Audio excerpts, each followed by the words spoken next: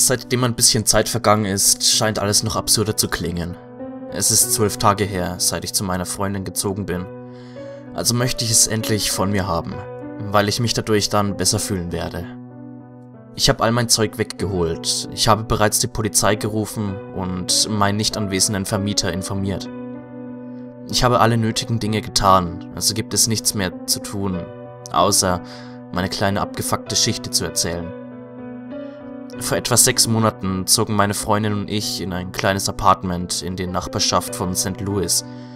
Nachdem wir bereits zwei Wochen dort lebten, hatte ihr Großvater, der sie großzog, einen Schlaganfall, woraufhin sie zurück nach Twin Oaks ging, um sich um ihn zu kümmern. Sie wäre die ganze Zeit für ihn da, bis wir uns eine Krankenschwester oder ein Hospiz leisten könnten. Jedenfalls lebte ich etwa ein halbes Jahr ganz alleine in unserem Schlafzimmer. Es ist wunderschön, neu ausgestattet, doppelt verglaste Fenster, großartig Isolation. Das Beste, was Hinterwäldlern, die anfingen Yuppies zu werden, wie wir, passieren konnte. Jedoch gibt es ein paar merkwürdige Dinge, die ihr gleich erfahren werdet. In diesem Gebäude gibt es nur vier Wohnungen, im zweiten und dritten Stock. Wir sind im oberen. Die erste Merkwürdigkeit, die wir an diesem Ort bemerkten, als wir einzogen, war, dass die Wände und Flure papierdünn sind. Ich kann jedes Wort meiner Nachbarn im unteren Stock verstehen, wenn sie sich unterhielten. Ich weiß, wann sie duschen gehen, ich weiß, wann sie ficken. Und ich bin mir sicher, sie wissen dasselbe auch über uns. Es ist eigenartig. Je mehr Informationen wir voneinander haben, desto weniger wollten wir uns richtig kennenlernen. Vor sechs Wochen zogen sie aus. Eine Woche später standen auch die zwei anderen Wohnungen leer. Es war etwas seltsam, aber irgendwie auch genial. Endlich konnte ich umherstampfen, Pornos schauen und Rockmusik auf vollste Lautstärke abspielen. Nach vier Wochen wurde es erneut seltsam. Es war etwa 1 Uhr nachts und ich ging ins Bett, als ich plötzlich diese Geräusche von der unteren, leerstehenden Wohnung hörte.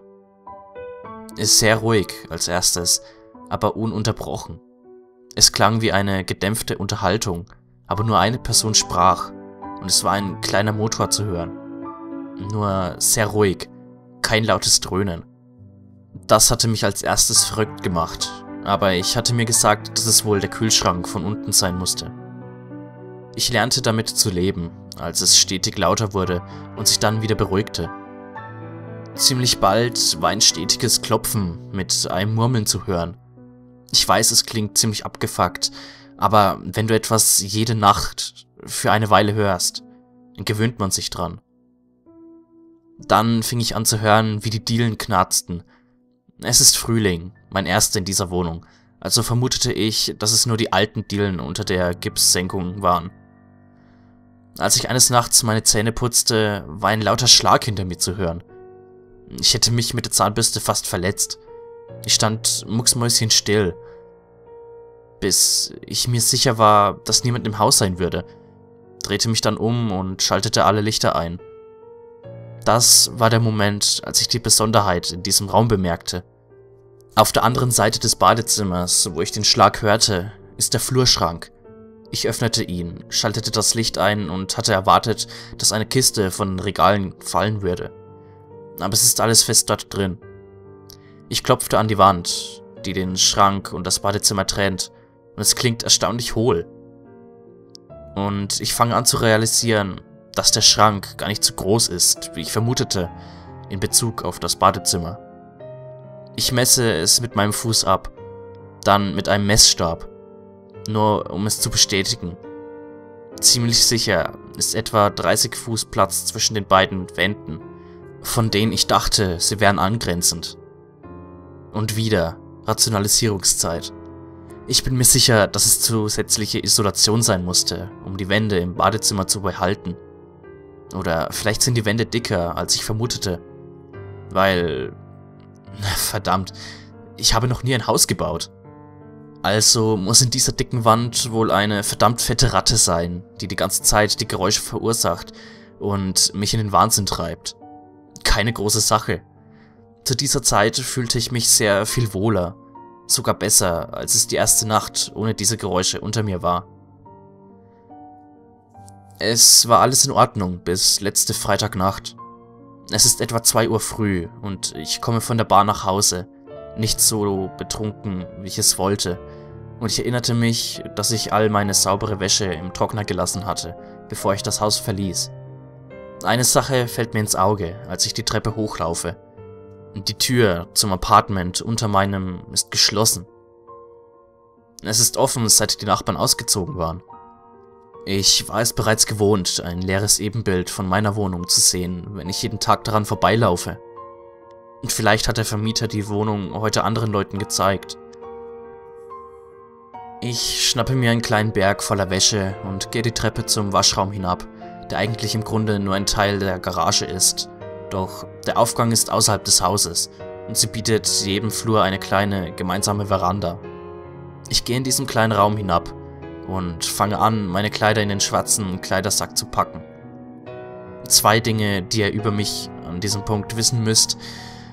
Ich schalte jedes Licht aus, wenn ich den Raum verlasse. Was auch immer.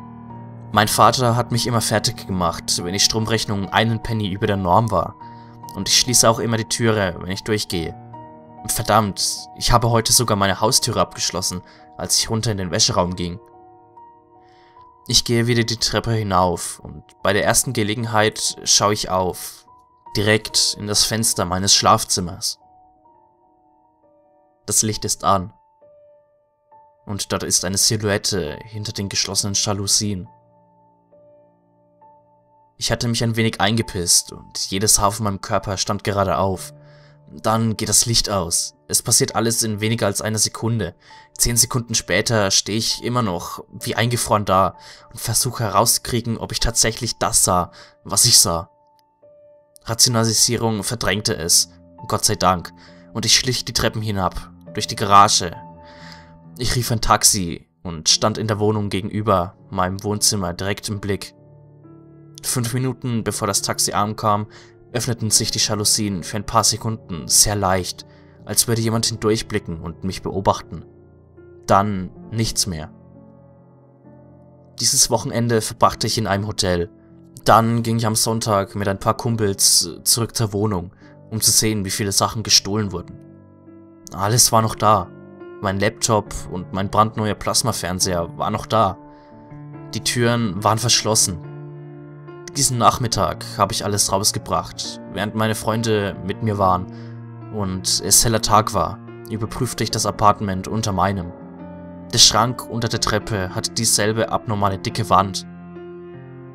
Nur jemand hatte dagegen geschlagen, denn ein großes, gezacktes Loch war dort, das darstellt, dass dort nur sehr wenig Raum zwischen den Wänden ist. Und in diesem Loch war eine billige Baumarktleiter, direkt nach oben in die Dunkelheit führend. In den Raum zwischen den Wänden meines Apartments. Ich weiß nicht, wie er von dort aus in mein Apartment konnte. Vielleicht durch den Heizungslüfter in meiner Decke. Es ist mir auch scheißegal. Alles, was ich möchte, ist diese Wohnung nie wieder zu sehen. Ich schickte meinen Vermieter die Schlüssel per Post, habe die Geschichte einem durchweg uninteressierten Polizeibeamten erzählt. Ich habe meinen Teil getan. Weiter geht's meinen beschissenen Job geschmissen, was wohl das einzige Gute an der ganzen Sache ist. Ich schreibe das bei einem Freund. Ich wollte diese Zeit nutzen, um mit meiner Freundin und ihrem Großvater dort einzuziehen. Doch er starb zwei Nächte davor. Ich denke immer noch daran, einfach zurück aufs Land zu ziehen. Aber ich glaube, das ist wie eine erfrischende Abwechslung für uns. Ich habe es ihr immer noch nicht gesagt und ich bin mir nicht sicher, ob ich es überhaupt tun werde. Ich hatte ihr erzählt, dass unser Vermieter verrückt wurde und uns rausschmiss. Aber ich möchte nie wieder in einem Apartment leben. Oder Leute hören, die sich unter mir bewegen. Oder auf der anderen Seite der Wand. Nie wieder.